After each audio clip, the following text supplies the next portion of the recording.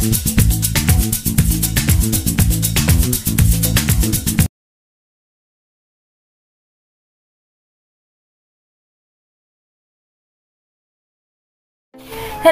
Avian കിച്ചണിലേക്ക് എല്ലാവർക്കും സ്വാഗതം.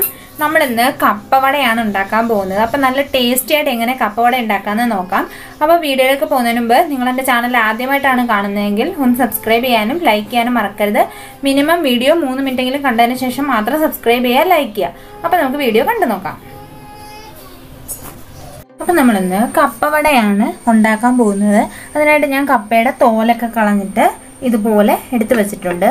ഇനി നമുക്കിതൊന്ന് ചെറിയ കഷ്ണങ്ങളാക്കി മുറിച്ചെടുക്കാം. അപ്പം നമുക്കിത് ചെറിയ കഷ്ണങ്ങളാക്കി മുറിച്ചെടുക്കാം. ഇതുപോലെ ചെറിയ കഷ്ണങ്ങളാക്കിയിട്ട് നമുക്കൊന്ന് വേവിച്ചെടുക്കാം. ഇതുപോലെ ചെറുതായിട്ട് കൊത്തി കൊത്തി അങ്ങ് എടുത്താൽ മതി.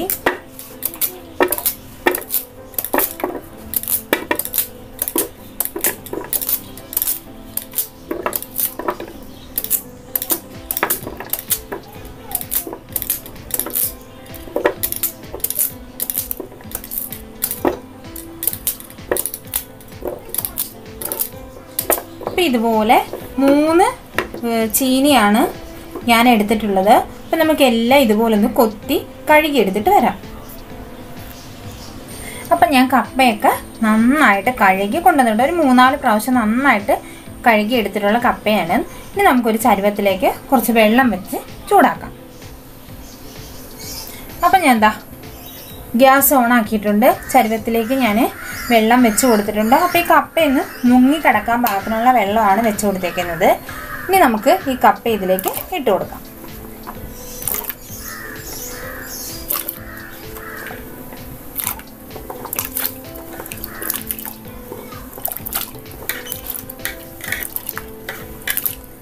ഞാൻ ഇതിലേക്ക് ഇട്ട് കൊടുത്തിട്ടുണ്ട്. ഇനി നമുക്കിത് മൂടി വെച്ചിട്ട് നന്നായിട്ട് വേവിച്ചെടുക്കാം. കപ്പ വേവുന്ന സമയം കൊണ്ട് നമുക്ക് അതിനകത്തേക്ക് വട വടക്കകത്തേക്ക് ചേർക്കാനായിട്ടുള്ള ഇൻഗ്രീഡിയൻസ് ആണിത്. ഒരു വലിയ സവാള ചെറുതായിട്ട് വളരെ ചെറുതായിട്ട് അരിഞ്ഞു വെച്ചിട്ടുള്ളതാണ്. പിന്നെ രണ്ട് തണ്ട് മല്ലിയില ചെറിയ കഷ്ണങ്ങളാക്കി അരിഞ്ഞു വെച്ചിട്ടുള്ളതാണ്. പിന്നെ ഒരു തണ്ട് കറിവേപ്പില ചെറുതായിട്ട് അരിഞ്ഞു വെച്ചിട്ടുള്ളതാണ്. ഒരു ടീസ്പൂൺ ഇഞ്ചി ചെറുതായിട്ട് അരിഞ്ഞു വെച്ചിട്ടുണ്ട്. ഒരു ആറ് വെളുത്തുള്ളി ചെറുതായിട്ട് അരിഞ്ഞു വെച്ചിട്ടുണ്ട്. അപ്പോൾ വെളുത്തുള്ളി ചേർക്കാൻ ഇഷ്ടമില്ലാത്തവർ ചേർക്കണ്ട. പിന്നെ രണ്ട് പച്ചമുളക് നാലായിട്ട് കീറിയിട്ട് ചെറിയ കഷ്ണങ്ങളാക്കി മുറിച്ച് വെച്ചിരിക്കുന്നതാണ്. ഇത്രയാണ് നമ്മൾ വടക്കകത്തേക്ക് ചേർത്ത് കൊടുക്കുന്ന ഇൻഗ്രീഡിയന്റ് ഇനി വട കഴിക്കുമ്പോൾ നമുക്ക് ടിപ്പ് ഡിപ്പായിട്ട് മുക്കി കഴിക്കാനായിട്ട് ഞാനിവിടെ ഒരു ചമ്മന്തി ഉണ്ടാക്കുന്നുണ്ട്. അതിനായിട്ട് ഞാനൊരു അഞ്ച് ടേബിൾ സ്പൂൺ തേങ്ങ എടുത്തിട്ടുണ്ട്. ഒരു എരിവുള്ള പച്ചമുളക് ആയതുകൊണ്ടാണ് ഒരെണ്ണം എടുത്തിട്ടുണ്ട്. ഒരു ചെറിയ പീസ് ഇഞ്ചി ഒരു ചെറിയ ചെറിയ ഉള്ളി ഒരു വെളുത്തുള്ളി പിന്നെ ഒരു മൂന്ന് നാല് തണ്ട് പുതിനയില. അപ്പോൾ ഇത്രയുള്ള നാല് തണ്ട് പുതിനയിലയാണ് ഞാൻ എടുത്തിട്ടുള്ളത്. പിന്നെ ഒരു ചെറിയ പിടി മല്ലിയില. ഇത്രയും കൂടെ നമ്മുടെ മിക്സിയുടെ ജാറിലേക്ക് ഇട്ട് കൊടുത്തിട്ട് കുറച്ച് വെള്ളം ഒഴിച്ച് ഉപ്പും ചേർത്ത് നന്നായിട്ട് നമുക്കൊന്ന് അരച്ചെടുക്കാം.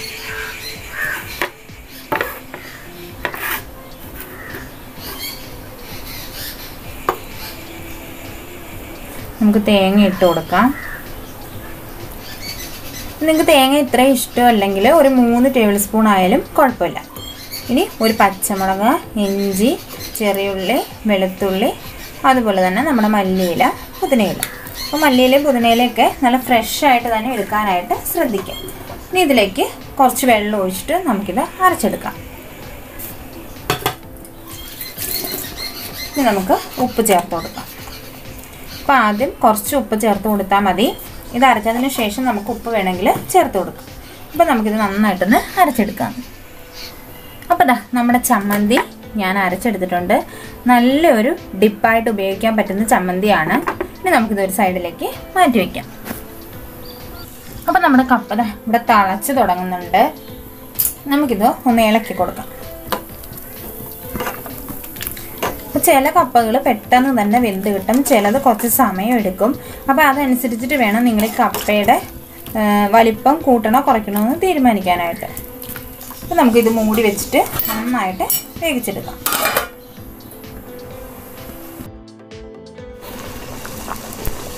അപ്പോൾ നമ്മുടെ കപ്പ നന്നായിട്ട് തിളച്ച് ഒരു മുക്കാൽ ഭാഗം വെന്ത് വന്നിട്ടുണ്ട്. നമുക്കിനി ഒരു അഞ്ച് മിനിറ്റും കൂടെ ഇതൊന്ന് വേവിച്ചെടുക്കാം. നന്നായിട്ട് വേവണം. കഷ്ണങ്ങളൊന്നും പാടില്ല. നമ്മൾ ഉടയ്ക്കുന്ന സമയത്ത് കഷ്ണങ്ങളൊന്നും പാടില്ല. നന്നായിട്ട് ഉടച്ചെടുക്കാനായിട്ട് പറ്റണം. അതുവരെ നമുക്കിത് വേവിച്ചെടുക്കാം. അപ്പം നമ്മുടെ കപ്പത നന്നായിട്ട് വെന്ത് വന്നിട്ടുണ്ട്. കണ്ടില്ലേ? നമ്മൾ ഇതുപോലൊക്കെ എടുക്കുമ്പോൾ ഉടഞ്ഞു പോകണം ഇനി നമുക്കിതിനകത്തേക്ക് ഉപ്പ് ചേർത്ത് കൊടുക്കാം. ഉപ്പ് ഇപ്പം കുറച്ച് ചേർത്താലും മതി. നമുക്ക് പിന്നെ നോക്കിയിട്ട് വേണമെങ്കിൽ ചേർത്ത് കൊടുക്കാം. ഇനി നന്നായിട്ടൊന്ന് ഇളക്കി കൊടുത്തിട്ട് ഒരു മിനിറ്റും കൂടി നന്നായിട്ടൊന്ന് തിളപ്പിച്ചെടുക്കുക. അപ്പോൾ ഇത് ഒരു മിനിറ്റ് കൂടി അടച്ചു വെച്ചിട്ട് നന്നായിട്ട് തിളപ്പിച്ചെടുക്കാം.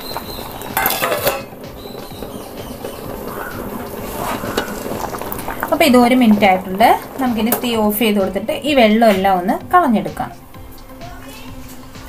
അപ്പം ഞാൻ നന്നായിട്ട് വെള്ളമൊക്കെ കളഞ്ഞ് കൊണ്ടുവന്നിട്ടുണ്ട്. ഇനി നമുക്കിത് നന്നായിട്ട് ഇതുപോലെ ഒന്ന് ഉടച്ചെടുക്കാം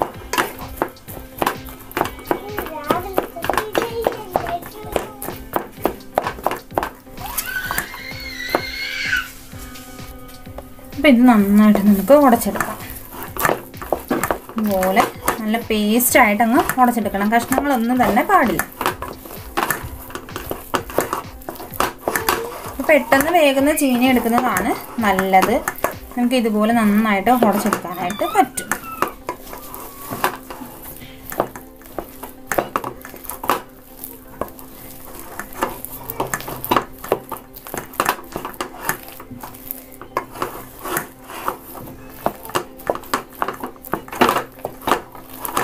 ഇതാ ഞാൻ നന്നായിട്ട് ഉടച്ചെടുത്തിട്ടുണ്ട്. ഇനി ഇത് ചെറുതായിട്ടൊന്ന് ചൂടാറുന്നവരെ വെയിറ്റ് ചെയ്യാം. അപ്പോൾ ഈ ഉടച്ചെടുത്ത കപ്പ നമുക്ക് ഇതുപോലെ പരന്നിട്ടുള്ള ഒരു പാത്രത്തിലേക്ക് ഇട്ട് കൊടുക്കാം. അപ്പോൾ നമുക്ക് പെട്ടെന്ന് തന്നെ ചൂടാറി കിട്ടും.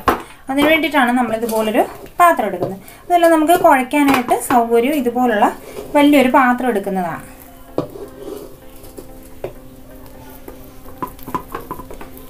ഞാൻ എന്താ കപ്പ ഇതിനകത്തേക്ക് ഇട്ട് കൊടുത്തിട്ടുണ്ട്.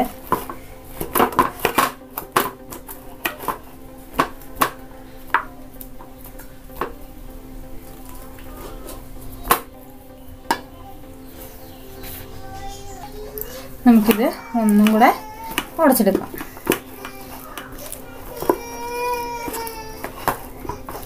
അപ്പം നിങ്ങൾ ആദ്യം ചെറിയൊരു എമൗണ്ട് എടുത്തിട്ട് ചെയ്ത് നോക്കുക. ഇഷ്ടപ്പെടുവാണെങ്കിൽ കൂടുതൽ ക്വാണ്ടിറ്റിയിൽ നമുക്ക് ചെയ്യാവുന്നതാണ്.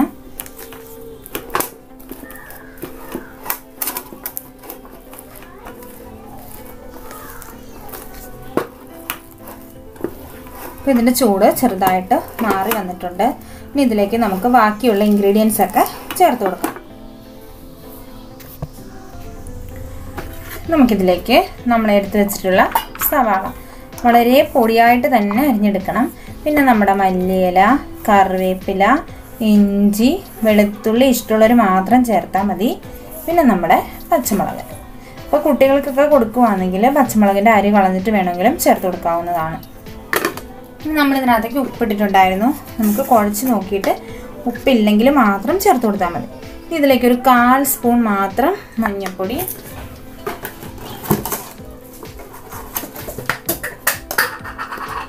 ഒരു കാൽ സ്പൂൺ മുളക് പൊടി. അത്രയും ഞാൻ ചേർക്കുന്നുള്ളൂ. നല്ല എരിവുള്ള മുളകാണ് ചേർത്തിട്ടുള്ളത്. ഇനി ഇതിലേക്ക് കുറച്ച് ഗരം മസാല ഒരു കാൽ സ്പൂൺ ഗരം മസാല ചേർത്ത് കൊടുത്താൽ മതി. അപ്പോൾ ഇഷ്ടമുള്ളവർ മാത്രം ചേർത്ത് കൊടുത്താൽ മതി. ഗരം മസാലയ്ക്ക് പകരം നിങ്ങൾക്ക് വേണമെങ്കിൽ സാമ്പാർ പൊടി ചേർത്ത് കൊടുക്കാവുന്നതാണ്. അപ്പോൾ നമുക്കിത് നന്നായിട്ടൊന്ന് കുഴച്ചെടുക്കാം. ഇനി നമുക്കിതിനകത്തേക്ക് ഒരു പിടുത്തം കിട്ടാൻ വേണ്ടിയിട്ട് നമ്മൾ ചേർക്കുന്നത് അരിപ്പൊടിയാണ്. അപ്പോൾ ഞാനിവിടെ കുറച്ച് അരിപ്പൊടി എടുത്ത് വെച്ചിട്ടുണ്ട്. ഇത് നമുക്ക് കുറച്ച് ചേർത്ത് കൊടുക്കാം ആദ്യം.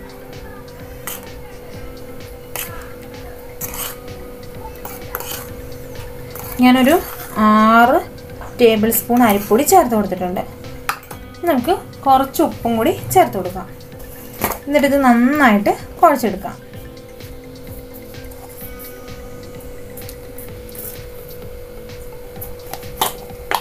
വെള്ളം ഒന്നും ചേർക്കണ്ട. കൈ കൊണ്ട് നന്നായിട്ടങ്ങ് മിക്സ് ചെയ്ത് കുഴച്ചെടുത്താൽ മതി. കപ്പയ്ക്ക് ചൂടുണ്ടാവും. അപ്പോൾ അത് ശ്രദ്ധിച്ച് വേണം കുഴച്ചെടുക്കാനായിട്ട്. ഇതുപോലെ നന്നായിട്ടങ്ങ് കുഴച്ചെടുക്കണം അപ്പം നല്ല ചൂടുണ്ടെങ്കിൽ ഫാനിന്റെ അടിയിലോ മറ്റോ വെച്ചിട്ട് വേണമെങ്കിലും കുഴച്ചെടുക്കാവുന്നതാണ്. ഇതുപോലൊരു പരന്ന പാത്രം എടുക്കുകയാണെങ്കിൽ നമുക്ക് നന്നായിട്ട് കുഴച്ചെടുക്കാനായിട്ട് പറ്റും.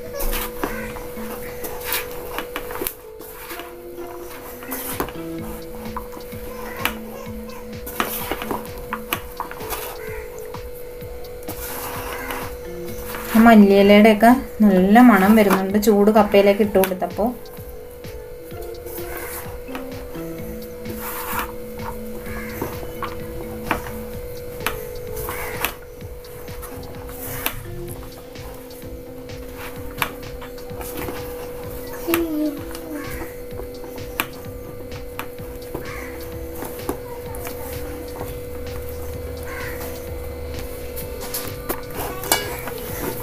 ഇത് കുറച്ച് കട്ടിയായിരിക്കും.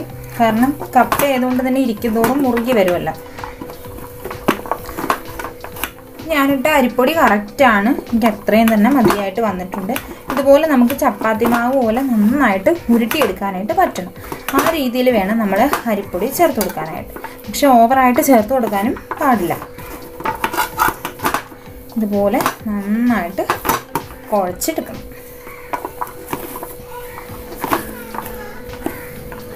ഉപ്പൊക്കെ ഈ സമയത്ത് നോക്കിയിട്ട് വേണമെങ്കിൽ ചേർത്ത് കൊടുക്കാം.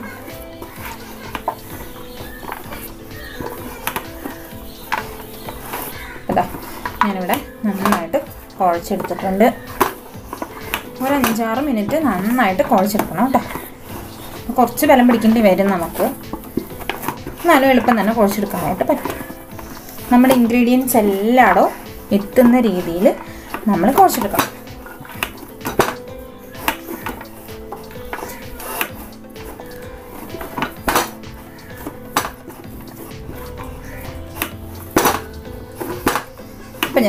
നന്നായിട്ട് കുഴച്ചെടുത്തിട്ടുണ്ട്. ഇനി നമുക്കിത് ചെറിയ ചെറിയ ബോളുകളാക്കി ഉരുട്ടിയെടുക്കാം. ഇനി നമുക്ക് ഓരോ ബോളിൽ വെളിച്ചെണ്ണയോ വെള്ളമോ എന്തെങ്കിലും വേണമെങ്കിലും നമുക്ക് തൂക്കാം. എന്നിട്ട് ചെറുതായിട്ടൊന്ന് പരത്തി കൊടുത്തിട്ട് നടുക്കൊരു ഹോളിട്ട് കൊടുക്കാം. ഇപ്പം നമ്മുടെ സൈഡൊന്നും പൊട്ടിപ്പോവരുത്. സൈഡൊക്കെ പൊട്ടിപ്പോയി കഴിഞ്ഞാൽ മാവ് പെർഫെക്റ്റ് ആയിട്ടില്ലെന്നാണ് അതിന്റെ അർത്ഥം. ഇതുപോലെ നമുക്ക് എല്ലാം ഓരോരോ ബോളുകളായിട്ട് ഉണ്ടാക്കിയെടുക്കാം. ഇതുപോലെ നമുക്ക് ഉരുട്ടിയെടുക്കാം. ഇനി ചെറുതായിട്ട് വേണമെങ്കിൽ ഇതുപോലെ നമുക്ക് ചെറുതായിട്ട് വേണമെങ്കിൽ ഉരുട്ടിയെടുക്കാം. ഈ ഒരു വലിപ്പത്തിൽ. പക്ഷെ നമ്മൾ അത്രയും വലിപ്പത്തിൽ ഉരുട്ടിയെടുക്കണ്ട. ചെറുതായിട്ട് നമുക്ക് ഉരുട്ടിയെടുക്കാം.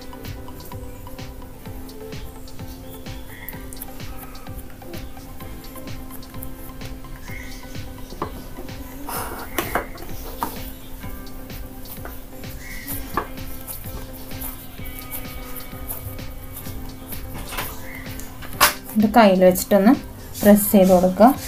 അതിനുശേഷം നടുക്കൊരു ഹോൾ ഇട്ട് കൊടുക്കുക.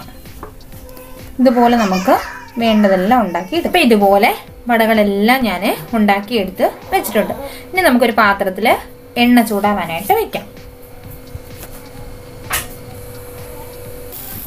ഞാനൊരു പാത്രം വെച്ചിട്ട് നന്നായിട്ട് ചൂടായി. ഇനി അതിലേക്ക് നമുക്ക് ഓയിൽ ഒഴിച്ചു കൊടുക്കാം. അപ്പോൾ ഇതുപോലെ ഒരു പാത്രം എടുക്കുകയാണെങ്കിൽ നമുക്ക് പെട്ടെന്ന് തന്നെ കുറച്ചങ്ങ് അധികം ഉണ്ടാക്കി എടുക്കാനായിട്ട് പറ്റും. അപ്പം ഞാൻ എണ്ണ ചൂടായി തുടങ്ങിയിട്ടുണ്ട്. ഇനി നമുക്ക് ഓരോ വടകളായിട്ട് ഇതിലേക്ക് ഇട്ട് കൊടുക്കാം. അപ്പോൾ ഇതുപോലെ ഒരു പരന്ന പാത്രം എടുക്കുവാണെങ്കിൽ നമുക്ക് ഒരുപാട് എണ്ണം ഒറ്റ ട്രിപ്പിൽ തന്നെ ഉണ്ടാക്കി എടുക്കാനായിട്ട് പറ്റും. നമുക്ക് ഓരോന്നായിട്ട് ഇട്ട് കൊടുക്കാം.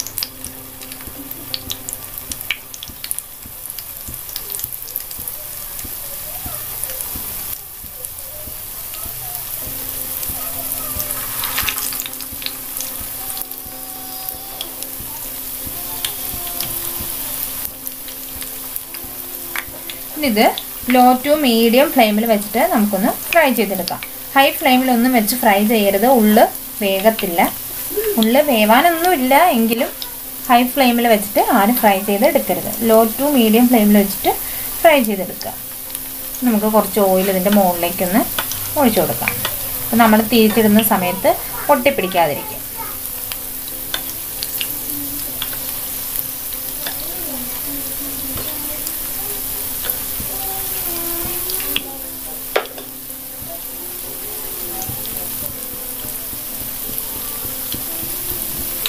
ഇതിന്റെ രണ്ട് സൈഡ് നമുക്കൊന്ന് മുരിച്ചെടുത്താൽ മാത്രം മതി.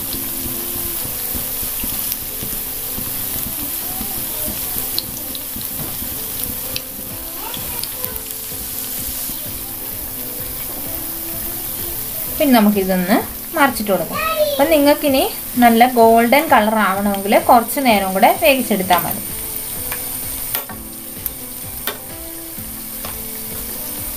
നമുക്ക് ഓരോന്നായിട്ട് മറിച്ചിട്ട് കൊടുക്കാം.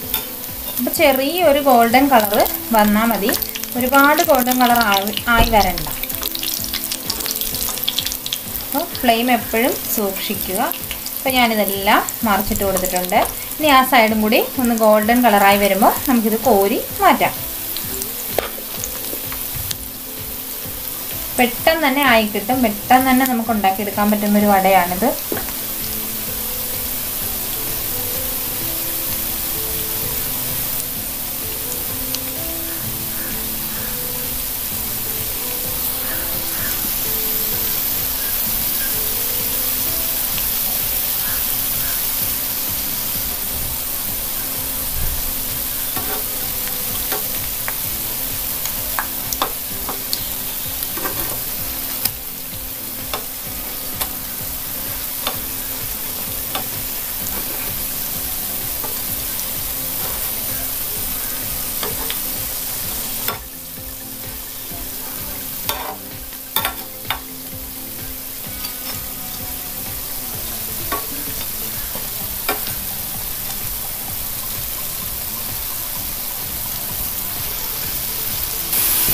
അപ്പം ഇതാ നമ്മുടെ വട ഏകദേശം അല്ല ഇതാ ഈ ഒരു കളറായിട്ട് വന്നിട്ടുണ്ട്. കണ്ടോ?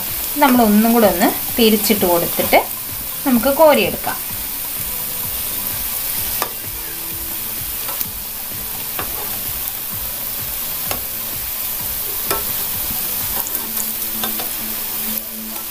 അപ്പോൾ ഇതാ നമ്മുടെ വട എല്ലാം ഇവിടെ റെഡി ആയിട്ടുണ്ട്. നമുക്കിനി ഓരോന്നായിട്ട് കോരി മാറ്റാം. ഇതിന്റെ പുറഭാഗം മാത്രം നമുക്കൊന്ന് ക്രിസ്പിയായി കിട്ടിയാൽ മതി. ഉള്ളിലൊക്കെ നന്നായിട്ട് വെന്തിട്ടുള്ളതാണല്ലോ.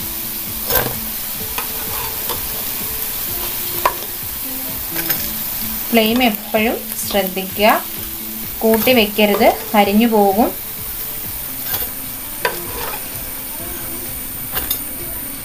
നമുക്ക് ബാക്കിയുള്ളതും ഇതുപോലെ തന്നെ ഉണ്ടാക്കിയെടുക്കാം.